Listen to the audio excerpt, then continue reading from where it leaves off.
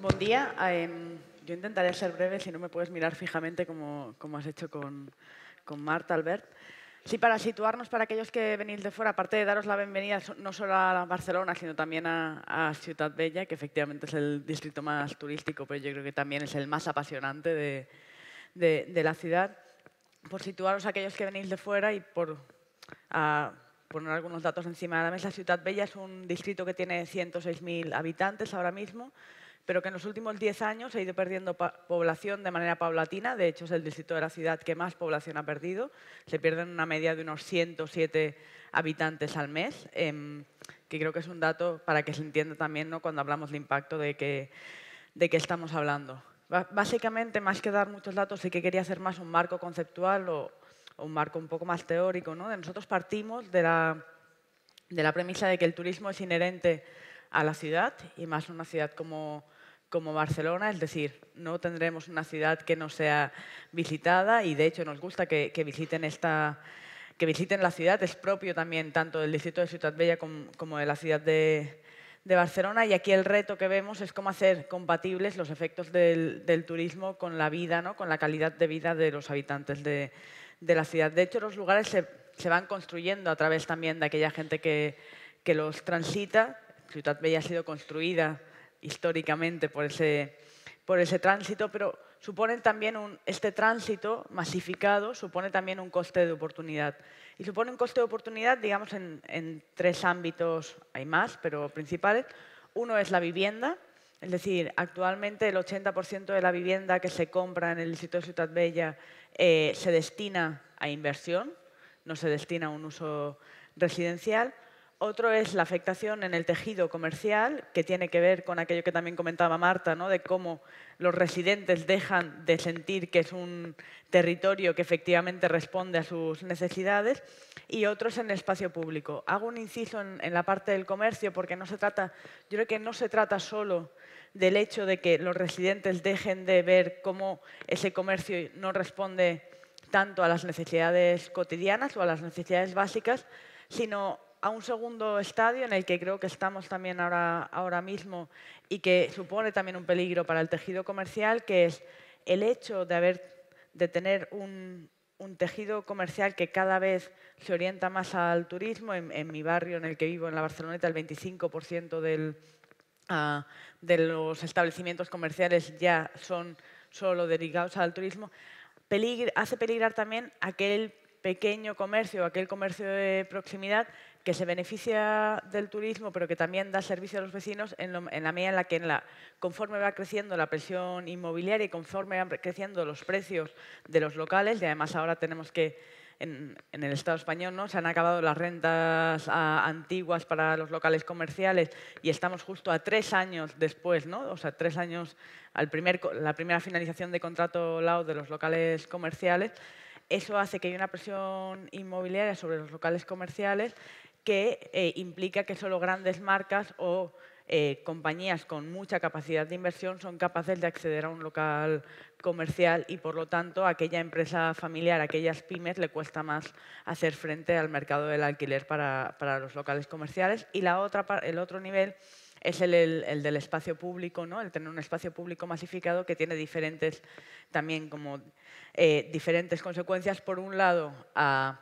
la sensación de pérdida de los espacios emblemáticos, que entiendo que es lo que se comentaba en Ámsterdam, se comentaba también de, Santiago de Compostela. Para mí el ejemplo emblemático sería la Rambla, ¿no? esta sensación de una Rambla que, se ha ido, que tiene 100 millones de, tránsitos al, año y que no tengo las cifras en la cabeza, pero si en Santiago son el 96, seguramente aquí también, ¿no? Prácticamente todo el mundo que viene a visitar Barcelona a pasea por la Rambla, pero ese pasear por la Rambla ha generado que la Rambla acabe, acabe siendo de nadie ¿no? y que nadie se lo acabe de sentir propio. Pero por otro lado también una afectación en el espacio público de monocultivo de usos, es decir, en lugar de tener una mixtura de usos que pueda combinar el uso turístico, la visita, con el uso comunitario, vecinal, con el uso comercial, acaba siendo un único tipo de uso.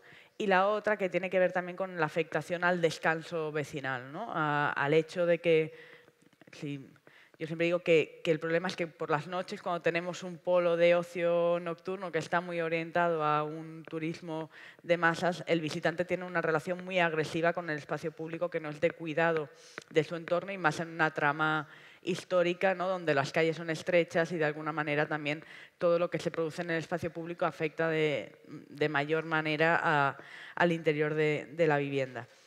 Y de hecho, en parte recogiendo también parte de lo que decía Marta, yo creo que muchas veces hemos hablado de gentrificación, ¿no? de cómo se dan procesos de transformación de las ciudades, sobre todo de los cascos urbanos históricos, eh, como podría ser el sitio Ciudad Bella, pero también Gracia o Poblenou o Poblesec, otros barrios. Es decir, yo creo que estamos... ¿no? Esta transformación de, de cascos urbanos que muchas veces viene acompañado de una inversión pública, pero que acaba generando, en lugar de una mejora de la calidad de vida de aquel que vive en ese territorio, un aumento ah, del precio de la vivienda, un cambio también del tejido comercial y, por lo tanto, una sustitución del tejido tradicional por un tejido, por una población con cierto poder adquisitivo, bueno, con un poder adquisitivo mayor. Eso es lo que tradicionalmente conocemos como gentrificación.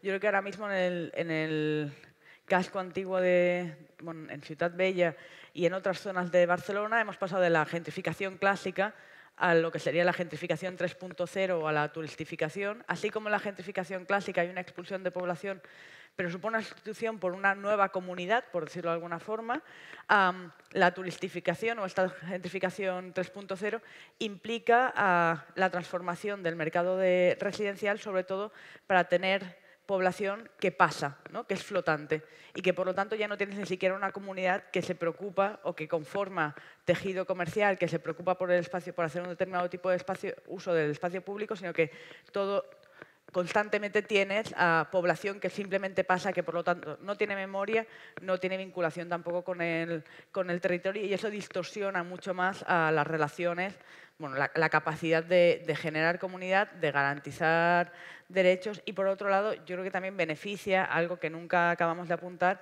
que es la aparición también de economías informales porque no hay una comunidad que se ocupe de ese territorio y de ese entorno en el que, en el que está viviendo. En definitiva, estamos hablando también de cómo se producen eh, dinámicas, lo que comentaba Uriol Nero antes, ¿no? de valor de uso frente al valor, de fomentar el valor de uso frente al valor de cambio, porque si, no al final lo que estamos perdiendo en sí es la propia ciudad, ¿no? es el espíritu o, la esencia de, la propia ciudad. En este sentido, yo creo que nuestro reto es, sobre todo, generar un turismo de calidad, entendiendo este turismo de calidad como el turismo que garantiza los derechos fundamentales de aquellos que viven. Y aquí, empezando por, el, por, el, por la capacidad, ¿no? por, por el derecho a la vivienda y por tener un parque de vivienda pública, un parque residencial eh, que permita tener comunidades establecidas, que permita tener vecinos que viven y que eso nos permita tener una mixtura de usos tanto en el espacio público como a un tejido comercial rico, rico y diverso. El otro reto creo que es conseguir que las rentas del trabajo del sector turístico permitan vivir en la ciudad. Aquí pongo un ejemplo de hace unos pocos meses. Hace unos pocos meses como administración, como ayuntamiento, intervenimos en un desahucio de una familia filipina, que de hecho la comunidad filipina es una comunidad muy importante en, este distrito, que se dedica sobre todo al trabajo de curas, muchas veces también pues, en, la parte de, hacer de camareras de, habitación y demás. En, el, en concreto era un matrimonio donde solo ella trabajaba trabajaba de camarera de piso en, en, una cadena hotelera, cobraba 500 euros al mes y evidentemente esa renta, a pesar de trabajar todas las horas, tantas horas que no le permitía tener un segundo trabajo, eh, a pesar de, tener ese trabajo, ¿no? estaba siendo expulsada de su vivienda. Entonces tenemos que conseguir tener una renta, ¿no? que aquellas personas que se dedican al sector turístico tengan rentas que les permitan vivir eh, de manera digna. No digo que sea la generalidad, pero sí que es una, un reto conjunto que creo que, que tenemos. Em, por otro lado, tenemos que conseguir también que las actividades turísticas sean también palanca para generar otro tipo, otro tipo de actividad. Es decir, no solo enfocar eh, la oferta que tenemos al turismo, sino que el turismo pueda también entremezclarse ¿no? con, con, la, con, la población, con la población local.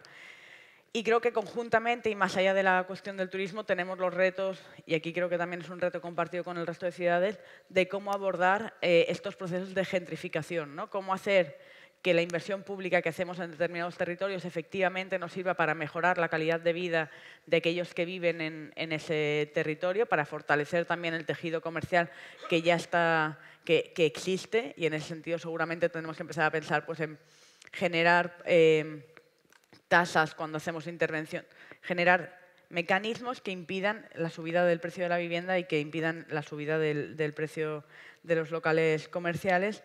Y al final creo que el reto, si me permitís ponerme un poco más eh, romántica, es imaginar conjuntamente tanto los actores eh, económicos como vecinales, como sobre todo aquellos que se dedican al sector turístico, imaginar qué, imagen de la ciudad queremos, queremos dar. Eh, y qué ciudad queremos para el futuro, porque no solo estamos hablando de la vulneración de derechos de la población y de la pérdida de, población, sino que también estamos hablando del peligro de matar la gallina de los, de los huevos de oro, por decirlo de alguna forma. Yo creo que la, que la, gente viene a visitar Barcelona, evidentemente por su historia, por su arquitectura, pero también porque Barcelona es una ciudad viva eh, que tiene algo que, atrae, que es su propia gente, y si no cuidamos este equilibrio, seguramente de aquí 10-15 años estaremos lamentándolo. Y amb això ja acabo.